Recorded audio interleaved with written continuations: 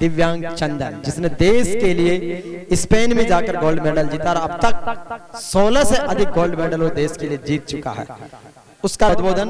मेरा नाम चंदन वर्मा है। मैं हीरापुर, जयपुर, राजस्थान से रहने वाला हूँ।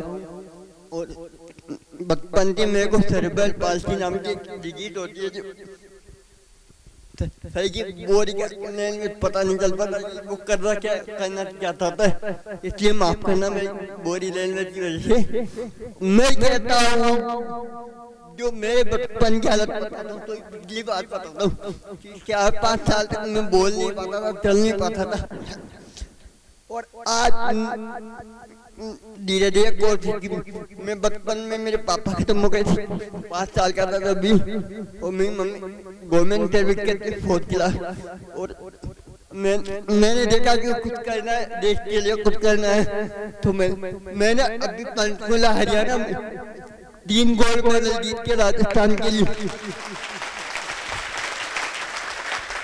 पहली बार में तीन गोल्ड मेडल जीतने वाला पहला राजस्थान का खिलाड़ी बना।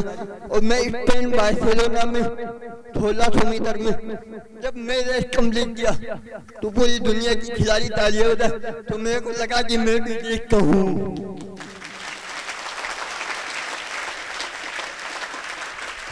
मेरे को पता नहीं चला कि मैं मेडल जीत चुका हूँ, लेकिन जब मैंने देश की तालियाँ सुनी तो मैंने देख लिया इंडिया का भी जज्बा मैं कहता हूँ, कोशिश करने वालों की हार नहीं होती, नहीं कोशिश करने वालों की नहीं है, पानी होती।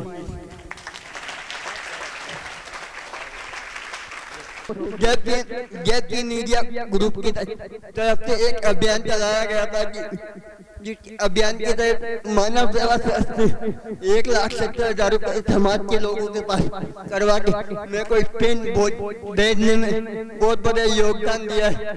मैं मानव सेवा ट्रस्ट और समाज के लोगों का बहुत बहुत आभार व्यक्त करना चाहता हूँ। जय हिंद, जय भारत। वेरी गुड चंदन